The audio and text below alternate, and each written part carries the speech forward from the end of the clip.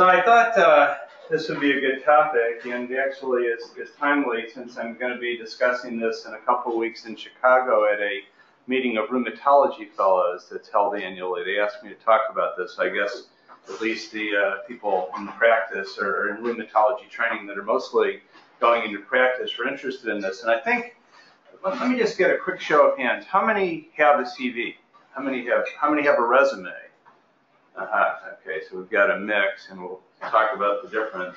So everybody has some interest and need for this. This is sort of our one of our academic calling cards. If you stay in academic medicine, having your CV and continuing to update your CV is really kind of the, the, the hallmark of, of, sort of who you are in, in academics. And it also relates to many things in the workforce. And so what I wanted to do is just kind of walk through with you uh, a couple of facets of this, and I, I, don't have anything specific to disclose about this other than to provide thanks to a couple colleagues, particularly Robin Lorenz here at UAB, and one of my former colleagues and still collaborator, Jeroan Allison, who's at UMass. And also, uh, this is, and I'll make these slides available to you. We'll, we'll get these circulated. But um, these are important links. The, the one is the UAB website to get the, uh, the format for these. And then the other is the University of Massachusetts uh, website, which has a slightly different format, but also some interesting additional instructions. And I've kind of concatenated things. One of the things you'll find, particularly in academic centers, is that there's not a standard way to do this. There's a lot of similarity and a lot of consistency, but there's some variability. And so some of the things I want to do is share with you things that I think are fairly standard and then also highlight some things that you might want to consider that are uh, indeed a bit variable. And then the last uh, link is actually an interesting website where I found some material from uh, University of Tennessee in Memphis that uh, will become apparent in just a minute because there are some very interesting critiques of CVs from some of the people that were reviewing them there that I want to show, show you. So I want to make a distinction. I, I ask you about both CVs and resumes, and so what's the difference between a CV and a resume? So a resume is a much more concise document that is used to market your skills and to get you an interview, but it's very concise and it's very easy to scan, and that is in contrast to the CV. The CV is a much more extensive document that lists your education, your research, teaching, publications, presentations. You know, it's been said that uh, you know, if we're interviewing somebody for an administrative post, a division director, a chairman, you, you know, the heavier the CV, the sort of more gravitas that person to some degree has. I mean, it obviously depends what's in there, but the CV can be, you know, hundreds of pages long in some cases for given individuals. So for doing resumes, here are some just general suggestions. You want to keep it very consistent, very precise. A page, maybe two pages. Your most impressive experiences. You, have some words in there that talk about what you're interested in, what, what you're planning to do, what are your what are your objectives, and it gets, tends to be targeted to the job that you're applying for. So it's a much different document than the CV.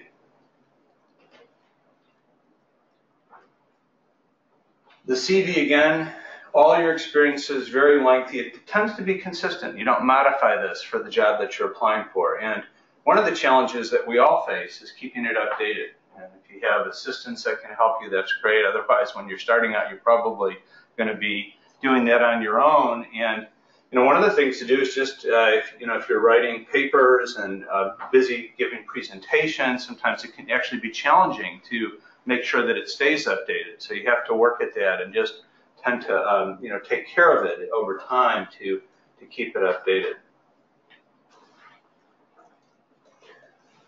So I don't think this requires too much commentary other than to say that this is an opportunity for you to make a positive impression. This is the first exposure that someone may have to you. And if you're going to be starting a new job or applying for a new position, this is your, your introduction and your chance to to get an interview. And if it looks messy or there's mistakes in it or typos or some other things that we'll talk about that might distinguish it as not being positive, that could maybe impair your ability depending on uh, the, the competition to get your foot in the door.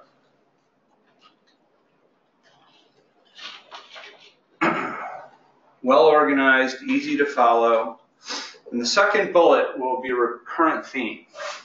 Make sure you account for all your time. If you've had a gap, if you've done something, took, took time off, went and studied overseas, did an experience that uh, is not accounted for in your CV, make sure that you are prepared either to explain that in the cover letter or potentially to discuss it during an interview. So now let's get into some of the details. And um, I want to just kind of walk you through this. This is sort of the, the format, and then I'm going to give some examples and, and show how this might look. So the top is pretty standard information. Uh, some suggestions are to, now there's a bit of a debate rather about your personal contact information. If it's an internal document, some would suggest that for security purposes, you might not want to provide it. If you're applying for a position outside of your institution, people are going to want to know how to get in touch with you, and probably going to want to include that. You're going to want to list your actual degrees, but you don't put particularly personal information in there about your, your birth date, gender, race, religion, marital status, disability. These are things that are not included and they're not part of a, a job selection process. So those should not be included in it, nor should sensitive personal information like your social security number. You don't want want that floating around. Then you're going to list your education, you're going to put your appointments and employment. We'll come back to what sorts of employment you want to illustrate, depending again on the position that you're applying for. If you've received um, honors and awards, those will also be listed. And some of these categories are things that right now may not be terribly relevant, but are going to become more relevant as your, your career advances.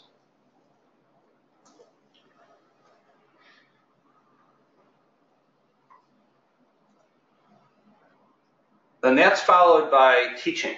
Are you doing educational things? Are you teaching courses? Have you given lectures? If you're lecturing outside of your institution, there's ways to organize that that I'll indicate. Uh, if you've had grant funding, if you've had non-funded research, and we'll, we'll, come back to this and talk about that a little more, because I think for many of you that may be the case beyond uh, the, the T and the K awards that you might be supported by here. But you want to be careful about how you frame that. You want to list things that you're working on, but if you have a bunch of things that are unfinished, that may be uh, a bit of a, a, marker of things that, that need to be discussed. Healthcare delivery, if you're in that field, uh, things that you would list are listed here in terms of what sort of services you're delivering. Are you certified? Are you licensed? And then there's a few other categories that I thought were intriguing that were on the UMass website clinical innovation, safety and quality work guidelines, and protocols. Those are all categories that they suggest be separate. I hadn't really thought about in the past, but I think they're pretty interesting. And then lastly, your scholarship. And this takes all forms of publications, abstracts, things you might put online, software. For the presentations at professional meetings, the abstracts, the, the best way to list these is as a, a citable abstract. If it's actually a proceeding from a conference, those are generally published, and you ought to actually list the, the volume. Usually they're a supplement to a, a journal, so that'll actually have a page number with it. That's much better than saying uh, Society of General Internal Medicine, 2016. Put the actual publication in the Journal of General Internal Medicine where it was actually published. And usually the most common recommendation is to put it in reverse chronological order if it's short and in chronologic order if it's long.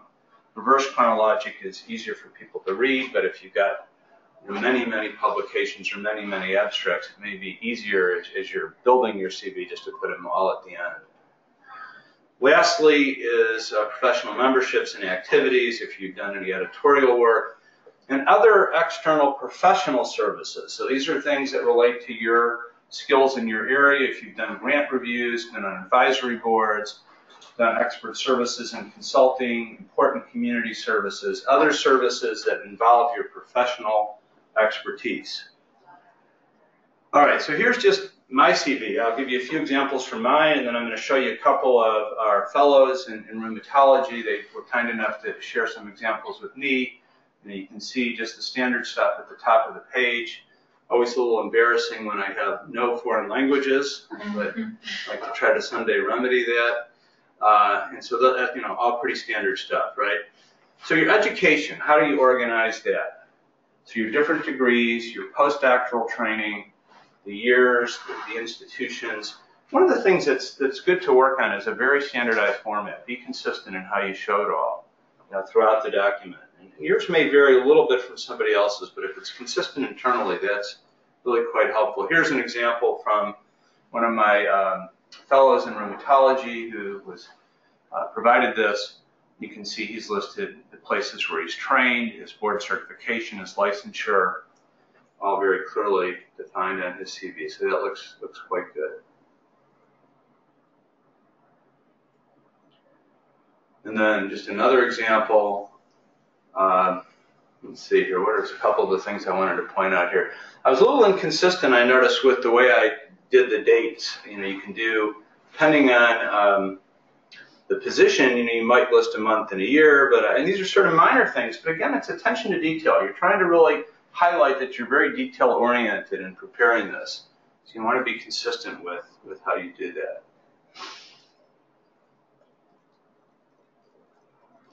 And then this was from my colleague's CV, listing some of his awards. Looks good. That's those. Publications. So let's look at that.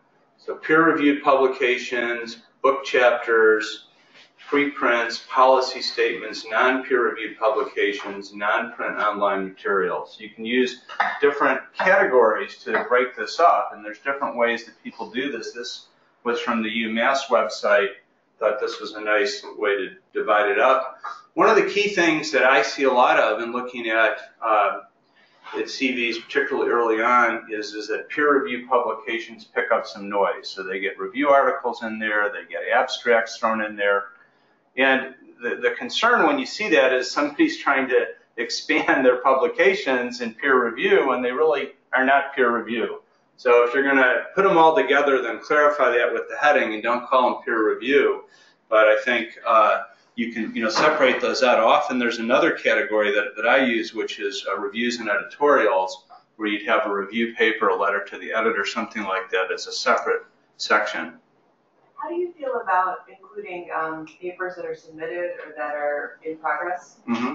Yeah, so that's often a separate section at the very end, papers uh, in preparation. And something, once it's actually been accepted, then it goes in the main section. It says accepted in press online first, one of those ways to sort of categorize it. What do you recommend? I mean, I guess for trainees, I feel like that's totally appropriate. Yeah. I feel like once you get past maybe your first year especially, I, I guess I feel like that. Yeah, you could. I guess that's a good point. So you could you could amalgamate those. I think that would be okay. Again, it's the same point, and you'll see some comments from some of the reviewers from University of Tennessee Memphis who were concerned that there were a lot of things that were in preparation. And so it's always, you know, it's always fairly easy to say you're working on these 10 things, but how many of them are you actually going to get done? And so you have to be a little careful, at least prepared to talk about that at the time of an interview. So I think there, there's a, a sweet spot for that to be sure. All right, so this would be um, a way to show the publications. Often you highlight your name and where you are in the author list. Uh, all the authors get listed. There, uh, here are the PMIDs are listed. If you want to pull those in, you can see some of these had not yet been out in hard copy, so they're listed as EPUB ahead of print. And um, you know, consistency as best you can in terms of the formatting. I'm noticing now as I look through this that in some of the references, there are all caps for each word, and, and others they're not. I mean, that's a relatively minor critique, but you know, if I was really even more attentive to detail, I'd go through and make that consistent. Consistency of format to show that attention to detail is really important. Using the standard abbreviations for the journals is also perfectly fine. Presentations.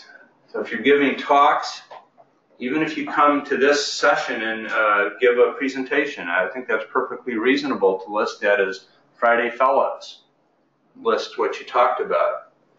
You often I try to do these in a standard way. I list the name of the meeting, I list the title and the location of the meeting, and um, I think you get the sense of this. pretty well. Now, some people break this into different groupings. If you're doing a lot of speaking, uh, you may have a separate section that is local, another one that's regional, another one that might be national or international. You could have lectures and you know courses that you're teaching as a separate section. That often separates out into sort of that educational area rather than than uh, presentations outside of courses. But um, you can look at some examples of that as well on the on the websites.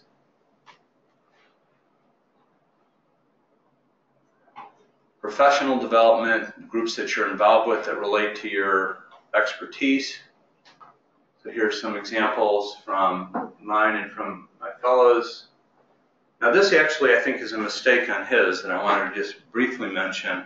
I would have put this under honors and awards. Take advantage of that as best as you can. Things that if you are elected into an honorary society, put that under your honors and awards rather than as a society membership. So get a little bit more credit for it, if you will, in that category. So these are often groups that you interact with, you come to their meetings, you're a member of these groups. You might have a position designation within the group, you might be a fellow or a member, so you'd list, list that on your CV. So how does the resume differ? What are some things that you would include in the resume that you might not include in the CV? And these are a couple examples of that. You could have your profile and your summary of qualifications. This is just an example from a person who's training in rheumatology and wants to become a clinician in that area, how they might express their interest and skills. Bulleted, short, concise, action-oriented.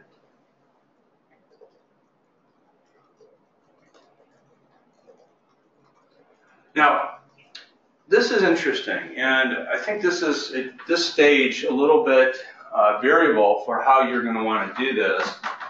But there's going to be things that you've done that aren't truly in your field, but they're important because they show that you've had work experience, perhaps, or that you've had a diverse experience, that you've had leadership experience, that you've done something that broadens you and makes you uh, better suited to take on a, a new position.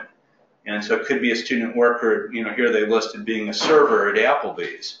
Um, you know, that's, that's okay, I think, early on if you've done something relevant during that experience. You've had some training experience, you've had some management experience, you've done something administrative, I think that would be perfectly fine early in your career to list some of these things. But ultimately, you're going to want to gradually weed some of that out as you have more professional experiences to fill in. Here's some other examples, related experiences, non-paid positions. I think this would be very highly appropriate to list things where you've done volunteer work, an intern, uh, worked if you're trying to apply to become uh, some sort of a care provider and showing that you worked in a crisis nursery and as a child guidance counselor and listing some of the things you did in the resume. The resume, you explain this in more detail. The CV you just listed as a line item.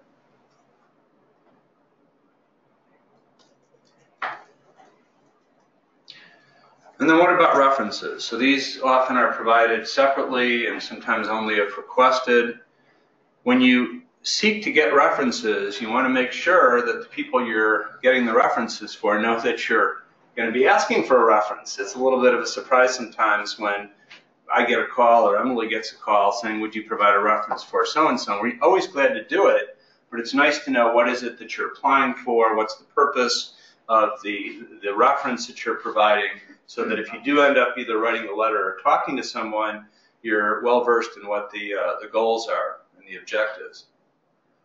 So to summarize the CV, a few suggestions. Make sure you proofread it and spell check it. It's good to get feedback from others in your area. Uh, if you send one out, make sure you follow up. a few suggestions on things not to do. Talked about a few of these already don't make it real flashy or use a bunch of sort of flowery stuff in there. I think just keep it very professional.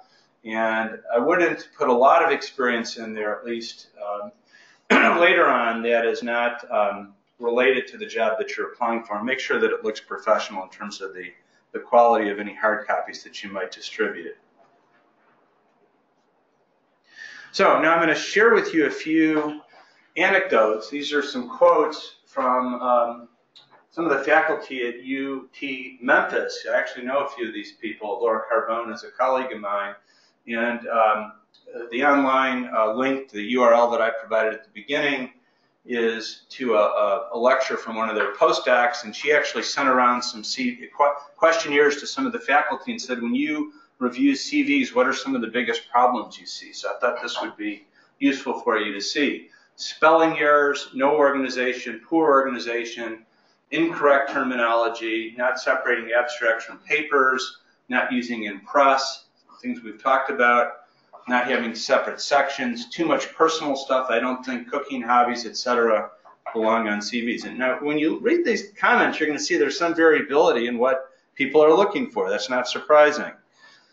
And then this point that I made earlier, avoid major lapses and discontinuity in your career. If you've had to take time off, explain why. Avoid too much personal stuff. Stick to professional matters. Maybe a few lines of extracurricular interests. Poorly presented, disorganized, I don't find a goal statement particularly helpful on a CV. This is, again, I think that distinction from a resume, although one of the things you'll see is some people kind of combine the formats a little bit, and you can have a little bit of creativity in this depending on where you're applying. If it's academic, I'd stick to the very strict format of that institution, but if you're sending it out for a job in the private sector, there may be some variability. And you can see some of the other comments here as well.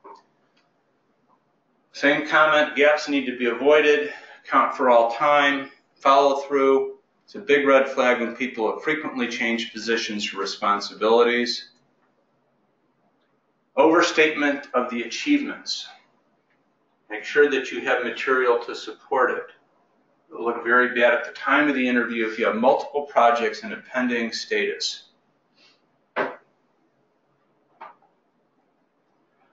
So let me summarize and then just uh, put a couple more comments in about a few other things that are related to this. So your CV is a descriptive document which lists out all the details about your career. Your resume is a snapshot. The CV is comprehensive. The resume is concise. CV is generally not customized. The resume is dynamic, changes according to the job. The CV is suitable when applying for academic positions, advanced research. The resume may be what you use when applying for jobs in the private sector, such as in clinical practice. CV focuses on your expertise. The resume concentrates on contributions, how you've worked, how you've made a difference, where you've worked. Questions about resumes and CVs? Comments, suggestions, other things that you've experienced? How far back would you suggest we go from dates wise for putting mm -hmm. um, jobs or things like that?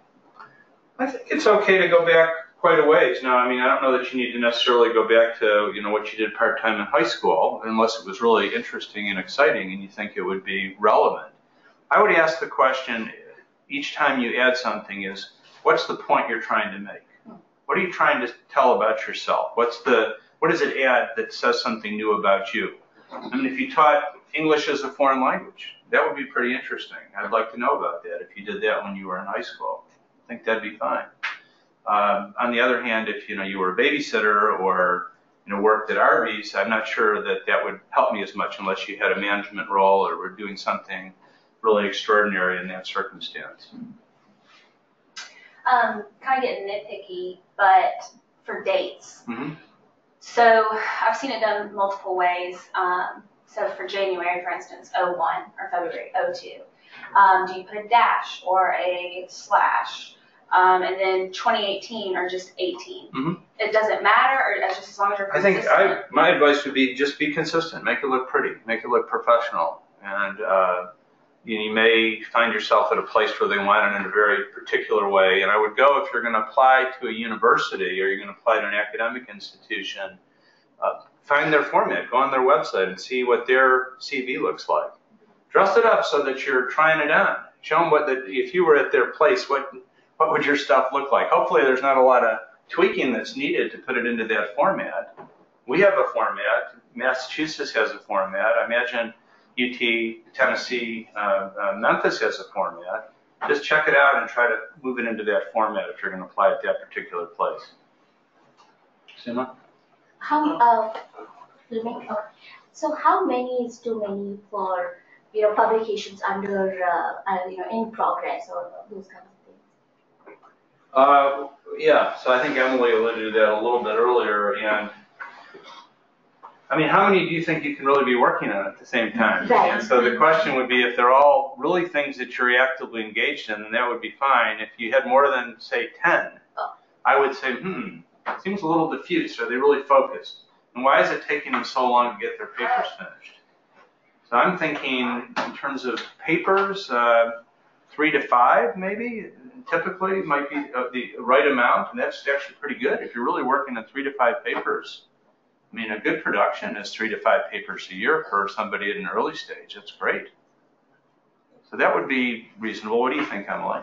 Yeah, I mean, I think that sounds reasonable, so, I mean, uh, I would be, right, so for a junior person, I think three to five, I'd be really surprised to see it unless it was like a guideline or something on a more senior person's resume. Um, but I think, you know, if you had like one or two that have been, that are, say, under review and two to three that are in progress, something like that. Yeah, and I think that's a nice little distinction. Under review is more powerful than in preparation. Yeah. If you've really sent it out, that's great. So it shows that it's moved beyond the manuscript stage as something that you've submitted. Under re-review, why not? If it's under re-review, if you send it back in a second time and it hasn't been accepted yet, put it in there. So it's a chance to kind of brag about who you are, but you want to be factual. Back things up with the facts. What are the facts about you? And don't leave people wondering whether you're making unsubstantiated claims. Um, so uh, for the publication section, uh, is there a way to, or should you even indicate like co-authorship if you have a publication where everyone worked on the same, but it's just kind of alphabetical? Absolutely. Uh, and uh, I've seen that on grants as well. It might say multiple PI, or it could say, uh, you know, both first author or, or uh, you know, senior author status. And there's different ways that you can put that often in parentheses. But that's right. You could, uh, if it's a team. So, and, and one of the things that might happen is you could have a group that wrote a paper, and your name is actually not listed, but you can put next to it a member of working group or something. Just list yourself there. Just explain it. I often see it with an asterisk. So like there'd be like an asterisk that would say, you know, joint first authors or, you know, um, so for one that I saw, it was like, you know, the cancer, uh, cancer genome atlas, something like that. And so they don't get named authors, but it's like, you know, that, that person was the director, the big piece of it, so there's an asterisk. Says, you know, very briefly, like three or four words with the, with the roll call. Let me just bring up a couple more things, and then we'll have plenty of time to discuss this, and we're going to end early today unless there's uh, other things that we want to cover. Uh, so often with your CV comes a cover letter, and the idea is is to introduce the CV and to introduce yourself if you're applying for a job. You want to express enthusiasm, passion, if you will, for what you're applying for. You might want to mention in the letter how what you want to do is relevant to your interests and abilities, how you're uh, how the position fits your values your interests. The other thing that I want to just talk about very briefly is letters of support and the ask. When you're asking someone for a letter of support, which often accompanies applying for a job, you want to make sure you're clear about what it is that you want, why you're asking that particular person. It may be very clear if that's been your primary mentor. It may be less clear if it's a co-mentor or somebody that you know less well through perhaps a course you took. And you want to provide them with all the relevant details and all relevant supporting docs, so, which I'll mention in a second. And, and the bottom bullet is a, a personal preference, but I think a fairly standard one, and that is if you're asking somebody who's moderately busy and they know you moderately well, ask them whether you can write a draft of it. If it's not a blinded letter, people appreciate that. And I'll often ask somebody who is asking me for a letter, can you draft it? I learn a lot when somebody drafts their own letter. Uh, sometimes they're very uh, humble. They don't say much glowing about themselves, and I have to embellish it a lot. And sometimes they're the opposite. then it's a little more embarrassing because you got to edit it down. and uh, you know, tone it down a little bit. But um, I think it can. It's a good experience to to write some of these, and you'll notice in many of them that there's a lot of code. Um, my letters all end sort of the same way.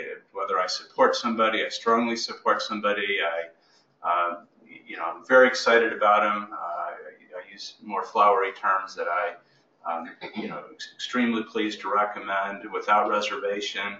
So there's different terms that you'll see in sort of the conclusion of these letters that often sort of tells the, the reader how uh, excited that person is and sometimes how well they know that person. Here are some of the supporting docs that you may want to include. Your CV, sometimes a writing sample depending on the job, perhaps an abstract, those can often be found. Uh, these are different things that you could provide to the person writing the letter if they need this information. Uh, and, and the other thing, when you ask if it's not somebody you know very well, it's perfectly fine and very appropriate to say, can you write me a positive letter? Can you write me a good recommendation? And it really provides some transparency in what you're expecting. And it's not, if it's at, at all possible, and, and you're the one who's going to be submitting it, get the letter back and read it. And if you don't think it's what you were looking for, you may ask multiple people. You may not decide to use that one. Maybe the person really didn't know you well enough, or sometimes the letters say more about the writer than about the person. They just may not write very good letters of support. They may not have had a lot of experience in writing those. And specify when you need it, right? Give your writer plenty of lead time, let's say a month on average. Don't be afraid to remind your writer about the deadline. Never assume, but don't send ransom letters. All right, good. So that's what I had to present on this. And uh, again, we have a little more time and we can end a little early on Good Friday. Any other comments about CVs, resumes, cover letters, letters of support? There's many in the room that have had a lot of experience in this space. Any, Becky and others want to make comments? Yes. So something that I've been asked now twice to do was write a student letter of support for a faculty member, and I feel like I was pretty ill prepared to do so. So what would you include in that? I mean, I really just talked about my experience with that educator, but I don't know if there's something else I should have expanded on. So you were writing a letter of support for somebody who was maybe trying to get promoted or tenure or yeah, something? and I didn't. It was very, you know, clinical year. Yeah. So, Yeah. but it was. I actually got asked twice, because I didn't know if it's a common thing or kind of what. Well, it's probably a compliment to you. They must have thought you were Googling. a more student. Uh, I don't know. yeah, I haven't had, haven't seen that too much, but uh, yeah, so you're sort of, and, and I guess that could be in a way feel a little bit funny, and because you're sort of in Yeah. an interesting position. Although I suspect it's post the time that you've taken the class, and that person doesn't have any further influence in terms of grading you or providing Yeah, yeah. further feedback. So that's less an issue. And was it a blinded letter? No, I sent it back to them, which was Okay. yeah. In retrospect. Right, sure. No, I think that that's sure. We've all actually, I, I had to do that too for in different things that you might Yeah. apply for an award or something where you want to get letters from your your colleagues or people that you've trained. And I think the thing is just to be candid and to talk about something that doesn't show up in their CV. That's really what a good letter of support should do. And people can go through and you know regurgitate the CV and put all the different degrees and places they've trained. That's not very helpful. But people can get that from reading the CV. But you- you want to, in the letter of support, you want to talk about um, how they, how hard they work, how smart they are. You know, do they ca- catch things very quickly? What is it? How do they work with other people? If there's too much about sort of their personality and behavior and attitude, not enough about their aptitude and knowledge, that can be a little bit of a, an indicator too that, that you don't want to, there may be some things that are left unsaid in certain letters. And you know, as you read letters for people applying for positions, periodically you pick up typically not red flags, because red flags don't often show up in letters of support. If they do, you've got a real problem. But often yellow flags, things that catch your eye and say, hmm, that's kind of a strange way to say that. Uh, you know, continue to improve. Um, it's okay if it's stated maybe once, but if it's sort of a theme of the letter that they continue to improve in this, they continue to improve in that, may suggest that maybe their performance level is not that great. Uh, so those are some of the things you'll pick up as you read through the letters. Other comments? Yeah, so I guess uh, I'm a little curious what your thoughts are, um, especially like early in career and balancing, um, you know, abstract conference presentations and actual publications. And you typically look to see if there's continuity between, you know, this abstract comment. presentations moving forward to this Yep, publication. Yep, yep, yep. So that could be a bit of a yellow flag, right? So generally, you want to list everything. So you want to have all your abstracts on there. But yes, if, and that's a, a good, a good lesson for everybody, that if you have something you've presented, often it should move on to publication. So if you presented 50 abstracts and you've got five papers, that's kind of a message. You're, you're not a finisher. So get the papers out. When you write an abstract, it's, it's the best thing about an abstract is you got a deadline. So you get the get the abstract done because it's due at a certain time. Papers don't have deadlines, so it should be a way for you to organize your thinking around that particular body of work, and put your mark down, and then move on from there to the paper. Sometimes the paper is not easy to get published because maybe it's a negative result on a topic that has less significance, and so it may be hard, but work hard to get the papers out.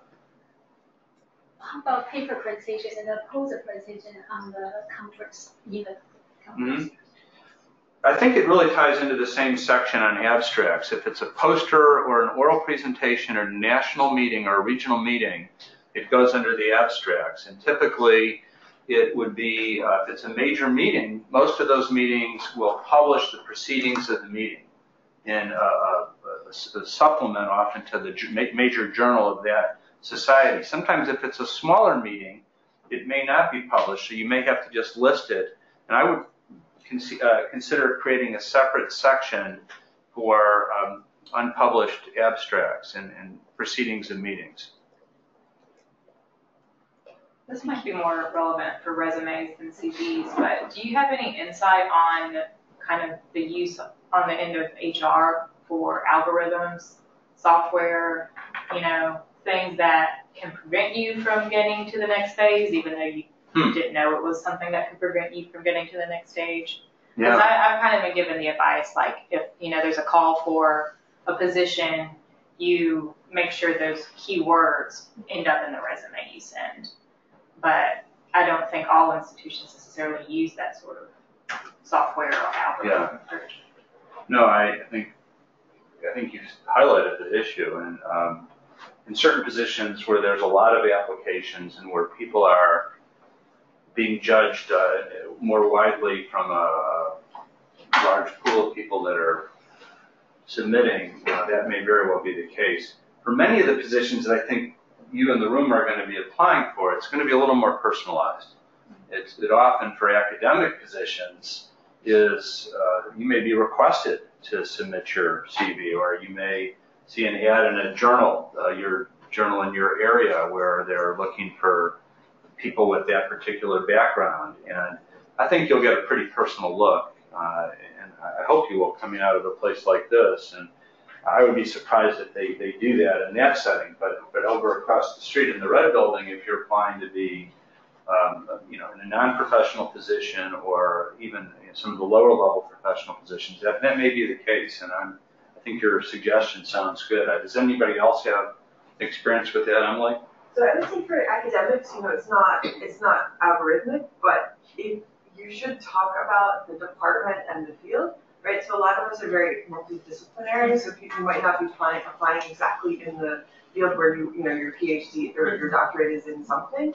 Um, I will say I was on a biostat search committee where there were a lot of people who didn't say anything about biostatistics or public health, and that was in their cover letter. And they might have been qualified, or they probably, you know, they were quantitatively quite strong, but that was a easy cut. You know, we had hundred applicants, applicants, and if you said you have your degree in engineering and you don't say anything about public health or biostatistics, So the cover letter is the opportunity to, Yeah. okay, that makes sense. yeah. That's a great, great comment. And uh, I've been on a couple of um, leadership search committees, a dean search and a recent search for a, a vice chair for research. And as Emily said, the people apply they have all sorts of different backgrounds. And the first question is often, why are they applying? You know, what is their qualification? And the cover letter should really explain that. It, it ought to be segmented even to talk about some of the key things that that person thinks is important for them to do the job well. Their administrative abilities, their teaching experience, their research experience, some of the typical domains that they think would fit under the position description for taking that on, if they, particularly if their background is not traditional. So very important. How about with continuing education, for example, uh, one day, two day workshop, or one week workshop, short training? Do I need? Short training. Yeah, if you think it's relevant, I, you know, I guess I look at it, and so part of the, the challenge is that if you create too much material, there's a signal noise issue. There are a lot of things in there that are not really all that exciting, then um, people are going to have trouble finding the really good stuff that's in there. So if you're listing every sort of week-long or three-day workshop that you've attended, mm, I don't know. If you think it was really an exceptional thing and it really provided you with the skill that you want to make sure people know you have, and particularly if it led to a certificate or some kind of a notification that you completed it, then I would be inclined to include it. But I would be careful about too much of that. I, I would add to that and say that's a great jumping off point for your cover letter too. Say, I attended this seminar and it was so impactful to me, I want X, Y, and Z. So, you know, change it and, and reframe it to, to be a cover letter thing instead of a, CV or a resume thing and add that paragraph. Good comment, thank you. I wonder if mentioning, um, if there's a person who led it, that's a leader in that area, that might be more impactful. If you say, I spent a week with Ken Saag at UAB doing X, Y, Z, they might say, oh, great, okay. I don't know if this will be relevant, but I've had that question before, and the advice I received was for the ones that you sort of maybe received like a scholarship or something, um, you know, put those down as like an honors.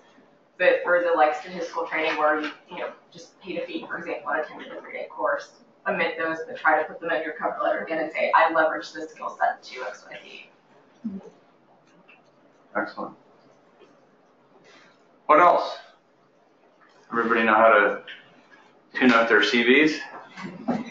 Coming back to the publications question that you asked earlier about transferring that abstract to a publication, I would say as you are writing your abstract to go to the conference, go ahead and find three or four journals that you want to list that you want to submit to so that once you're done with that conference, you can go back, make those edits real quick and get it off your plate. Don't wait. Don't provide that lag time. Just go ahead and get in your in your mind mentally that that's part of your process of submitting an abstract is having three or four journals in mind where you're going to submit. The longer that it stays in the hopper, the harder it is to get out there. That's a, a nice summary, Becky, and I, I think it highlights that the CV is not just a marker of what you've done, but also it can also help you think about what you need to do. To the comment about the abstracts that are on there and the papers in preparation, you might want to go through your CV once a month and update the papers that are in preparation. Forces you to think about what is it that you're working on, when, when do you need to get things finished. Excellent. Well, enjoy the rest of your morning. Anything else, Becky, John, Eve, that we wanted to cover? Any other announcements? Uh, well, we have practice training for our TL1 scholars for the ACTS conference. So I'd like for you guys to hang out if anyone wants to stay Ah, and good. see Okay. some poster presentations from great. these scholars. We'd love for you to stay and get feedback. Um, otherwise, we will see you next week and looking forward to it. Thank Good. you. There's coffee outside too. Yeah.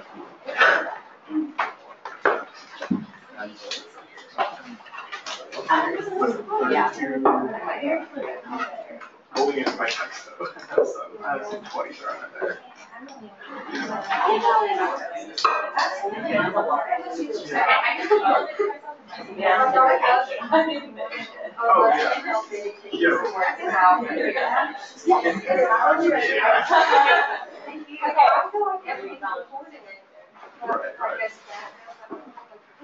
The mask stopped working and it doesn't seem to be. So I like Yeah. just emailed it to myself. No worries. Here, I will turn off my screen. You can- Okay, yeah. Thank you.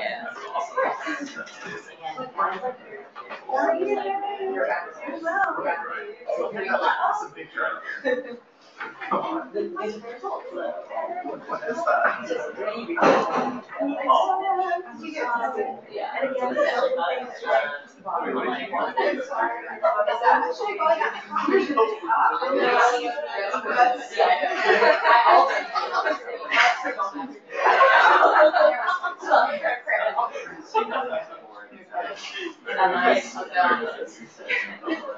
Yes,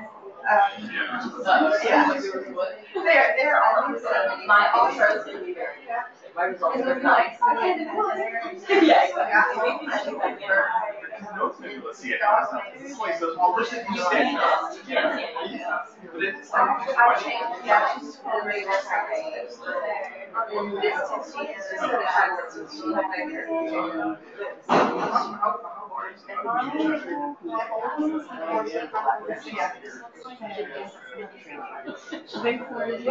File of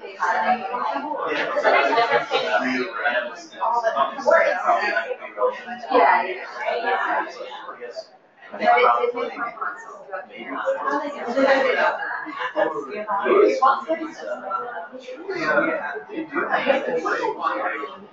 Rearrange everything. Okay, so I did it and it literally took. I just didn't have to pass it out. Oh, okay,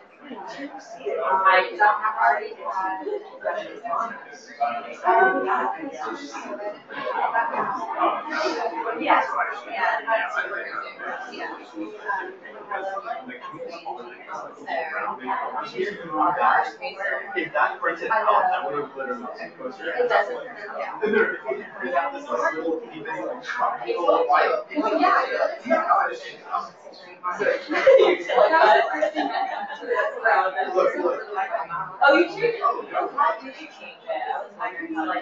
So a lot of them make things. Really. Yeah,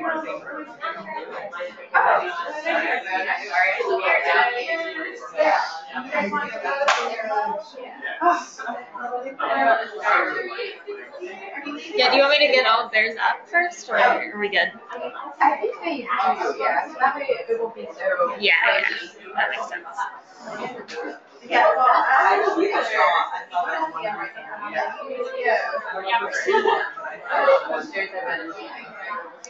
I'm going to be short and sweet. That is my goal. Yeah, maybe it'd be good just to get everything loaded, so then it's not. Yeah. Hey, do you guys want to come load yours? Yeah.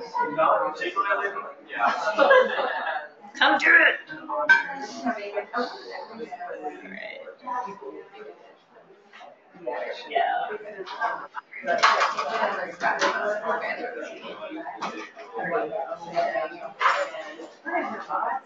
do it.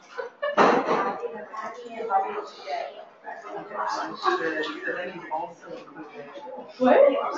Yeah. Oh, no, I feel kind of bad sticking around staring at you. My, mine's still in the drawing. Yeah, I'm sure it's, beautiful and polished, but. Literally, literally has a box that says insert diagram here. Killed it.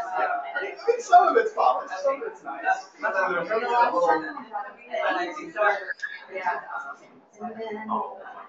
So do you have to update those tables eventually? Yeah. That's how, that's my favorite project, why it takes so long. What, what kind of staff program do you use? Nice, that's awesome.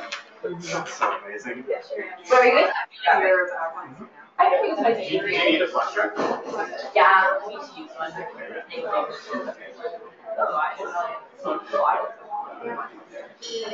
Right. They are. The other person showed a picture.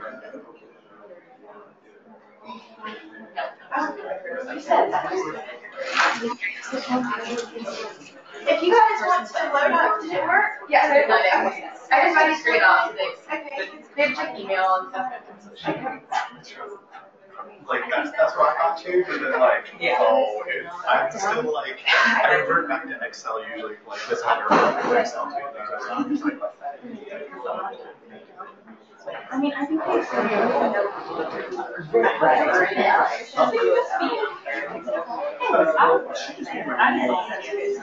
But I mean. You did that anyway? Perfectly fine, and I was like, Oh, really? Originally, as I said, planned on going in, Jeff said, no. So I said, okay.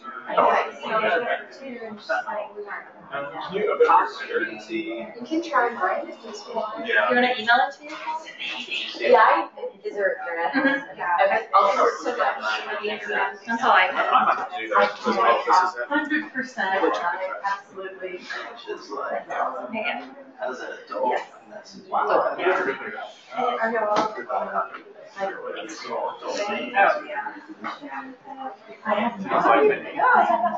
the exact same thing. How are you today? I uh, had a mouse in my very old permit. I knew if I looked at it. Oh, wait, wait, time out. I would respond. Not. Yeah, it's not a text, just days water, not paying rent, the all, sleeping in my cabinet. I wasn't oh, going to do, if I had, I did it, I would do Third floor, Yeah. regularly. And So all of it's the time I have pets, I'm like, I'll on them, just doing it with me, like, and then that's on the third floor, but I mean, so like, I can capture like one mouse, doesn't mean anything. Why isn't this working? Uh, go to, so I had to go to, oh, you have a different, yeah. But I've seen it once, it was awful. I Oh, yeah, um, And the mouse. is it like send me to another mail site? Yeah. Is it mail.uab.edu? Yes, sir. I don't know, actually. It's usually. No. Okay, yeah. Yeah. You, and right away. What in the world is this? I guess I just downloaded it to, download it to the, yeah, that's all the desktop. I already like found a spelling mistake. I already misspelled, yeah, like, and, but I already sent it to myself, I was like, whatever at this point. It looks so small up here. Yeah, they're probably not even gonna be able to see it, that's true. Are you gonna, are you gonna do it yourself? I'm gonna get like still the learners for rough use. I'm just gonna clean up I stuffed some steel mouse. Machete? Yes, I have a mouse. Pretty much. I, I don't. I'm welcome mouse. I'm a pet mouse. Yeah. Just a quite. But yeah, and I started to make it to immediately like after we like looked at each other. I like, there's a mouse in here. Like, and they're like, you set the exterminator out like do stuff. There's no reason. This building's like a million years So what did I do? She got what Chinese exterminator into our house. I was usually set up traps. Yeah. I haven't seen any traps. Surely this. I think you did. No, you can get the, my sister got the one where they like get their feet stuck on like glue oh, stuff. Oh, I have for like the humane mouse trap. Yeah. I actually killed it. Well, it's not as bad. It just like gets them stuck. But like, but then that's still horrifying. Can you imagine getting stuck? Like, you just get don't they eventually die? They die? do. They like sneak and freak out. Yeah. Oh, really?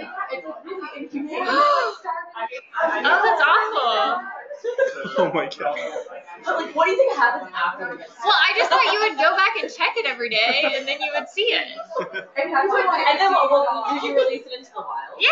Oh, wow. I don't have the, I don't have the glue guts. like, what else could I do with it? Keep it as a pet. Like, take it away, take it outside, and let it go. Oh, so terrifying. Well, that's what I'm thinking. Yeah. So I think, yeah. I think Leave some cheese out. Yes. I'm kidding, guys. Oh do you guys remember like cave mousetrap? Do you guys You're like very like, concerned about do you guys remember like board game mousetrap? Do you remember Mousetrap? that? Like, all last summer? Yeah. Yeah, that was my childhood. Good times. Yeah. yeah. Great. I don't know. I always had a cat that she was like Yeah. Bitch though. And yeah, She would thought rabbits cat in her was biggest so hurt. Like, One when I was time I heard this freaking sound from her Best part about it, her name's I was Princess. My sister named her. Is it free or post Precious the Mood High? Free. She was, she was like 19, you guys. By that, by point, she had like five thousand words. She had, a, she had like one tooth left. she was Oh, just man. So, She's still hunted every day. She's just hunted. Now I have this like lazy cat who like if I open the door, like, what is that world? I'm like, no part of that. So you can hear her. Because maybe it's a job. Like I, I try to force him to go outside. He's like, Really not. it's not my world. That's Sarah's cat loves. She's so funny. Sarah's cat Zoe. Yeah. Loves like it like wants to go outside. Outside, yeah. See, some, I feel like there's like a divide in cats. Also, I got Percy when he was really little, and I'm pretty sure he like honestly kind of thinks he's actually like I don't think he like understands who the cat. Because they like found him all alone in this like tiny, so I don't know how much time he spent with other cats. He lives grows right now, and I really miss him. I don't freak out when Sarah doesn't know. Like, I don't think I socialized him enough as a cat as a kid. So I oh, you probably think I'm a cat. But he just like very attached to me, and then like he's like come around often. He doesn't understand children. And if I freak him out, like I brought my niece and nephew over to meet him. They're so cute. And I guess they're very unpredictable too. Yeah. And kids oh, oh yeah. Like the way they hold it is just like, I know. I feel like under the bed. Yeah. Like, Yeah. And the way that choke all those cats and dogs and stuff. Really kind of horrifying. Even when I see like a little like, um, you know, YouTube video, little videos like that's supposed to be really cute of like kids like holding them. I'm like, what is Japanese cat. Like chokehold this Yeah. No, I'll never forget my nephew. He's probably like three years old and he has a kitten and he just like tossed it in the pool. I was like, you can't do that. Toss it where? In the pool. I had to like save this kid. He was you guys, like, he's not like a serial killer. I'll show He just like did not comprehend it. Right? That was not what it Yes. Okay, we are gonna go get started. The poster presentations, we have allotted for about ten minutes for poster presentation. Again, in reality, when standing, how, how many people have done a poster presentation? Okay, so everyone has. Um, Do you want me to keep this? no, you, you just close it, that's fine. Uh, To keep someone's attention, you guys know how it works. How long do you typically stay at a poster when you're walking through poster presentations? Let me say yes. Two to three minutes. Two to three minutes, yeah.